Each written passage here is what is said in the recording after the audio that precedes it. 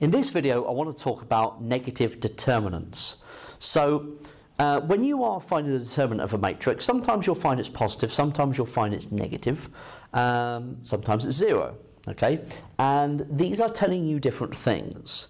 So you might be wondering, well, what does it mean if the matrix determinant is negative? Well, what we're going to do is going to do a little bit of investigation into this just to kind of see what this really, this concept really means. So I've written down here three two by two matrices. Um, so you might immediately recognize by now what these types of matrices are and what they're going to do. Uh, you might not be so confident on doing that yet. So what we're going to do is we are going to look and see what these matrices do to this unit square, okay, that I've drawn. So I've given it um, the points 1, 1, 1, 2, 2, 2, and 2, 1. And I've labelled the corners of the square A, B, C, D going around clockwise. Okay? So, the first thing I'm going to do is I'm going to work out the determinant of each of these four matrices. So the determinant of A is equal to minus 1 times 1 take away 0 times 0. And so that would just be negative 1. The determinant of B is minus 1 times minus 1, take away 0 times 0, and that would just be 1. And for matrix C, the determinant of C is 2 times 2, take away 0 times 0, and so that's 4. So as you can see, one of these three is negative. Okay? So what we're going to now do is we're going to apply um, these matrices to the vertices of this square to see what happens and to see where they are mapped to. So the first one, minus 1, 0, 0, 1, is going to be applied to 1, 1, going round uh, clockwise here. So 1, 2, uh, 2, 2, and 2, 1. Okay, so what do we get? Well, minus 1, 0 times each of these will just give me the top row but the negative of those. So minus 1, minus 1, minus 2, minus 2. 0, 1 being applied to each of those will give me the bottom row. So 1, 2, 2, 1. So my new coordinates are negative 1, 1. So this point here, so there's negative 1. Uh, so that is my first coordinate A where that has been mapped to. So we'll call that A prime. Minus 1, 2 is my next one. So negative 1, 2, so up here. And so that is where B has been mapped to. And so we'll call that B prime. Then we've got negative 2, 2, which is going to be over here. Okay, and that's where C has been mapped to. And negative 2, 1 is this point here, and that's where D has been mapped to. And so this would be my new shape. So what you should be seeing, firstly, is that clearly it, this matrix represented a reflection in the y-axis. Okay, that's the first thing. The second thing is actually the orientation of the shape. And by that, I mean that what's happened is that I would be reading A, B, C, D going clockwise round here, but now I've got A prime, B prime, C prime, D prime going anti-clockwise. So the fact is that the reflection caused the reversal of the orientation of the vertices. So it reversed the direction. So from clockwise to anti-clockwise.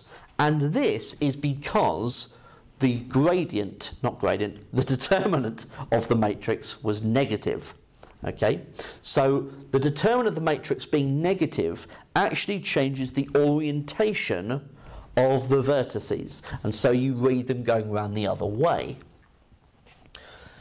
Now, it's important then to have a look at these two situations just to see that actually the orientation is maintained.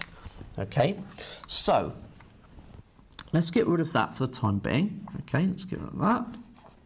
And change that up. And we're going to change this. Okay, so we've now got minus 1, 0, 0, minus 1. So if we apply that matrix to our square, uh, minus 1, 0 times each of those, so we'll get negative 1, negative 1, negative 2, negative 2, and 0 minus 1 multiplied by each of those, negative 1, negative 2, negative 2, negative 1.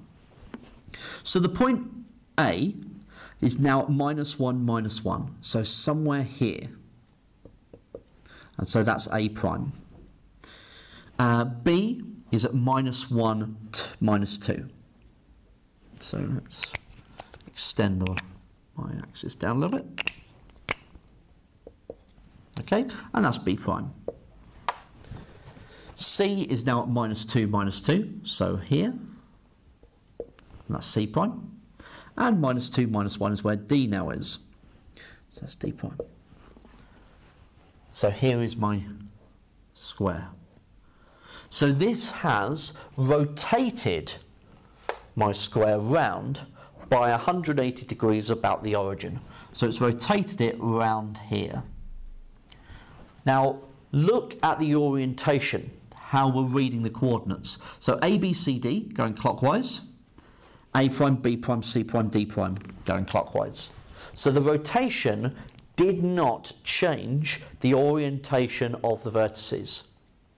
And you can tell that straight from the determinant being positive rather than negative. Now, the last example here, 2002. Okay, so we'd be expecting that the orientation would maintain.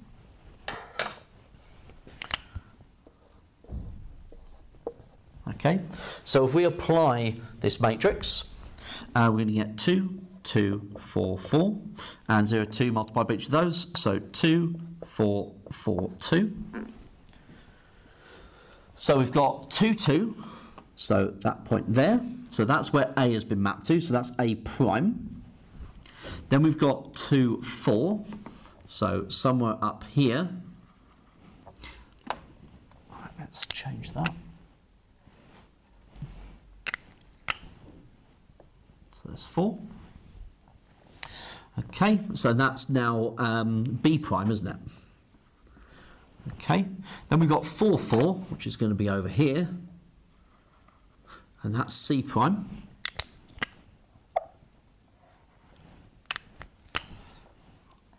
Four, and then four, two, uh, which is here, and that's D prime. It's also nice to see from this that not only is it clearly maintaining the orientation A prime, B prime, C prime, D prime going around clockwise, but also clearly that the area was 1.